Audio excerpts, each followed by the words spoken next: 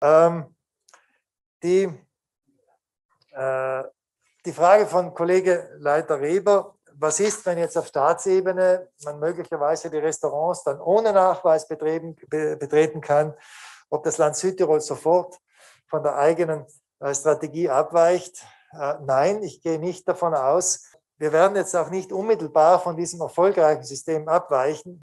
Äh, wir werden ab 1. Juni dann auch dieselbe Regelung haben wie im Staatsgebiet. Das heißt, da wird es im Innenraum auch ohne Corona-Pass dann möglich sein, um hier auch eine gleichlautende Regelung zu haben.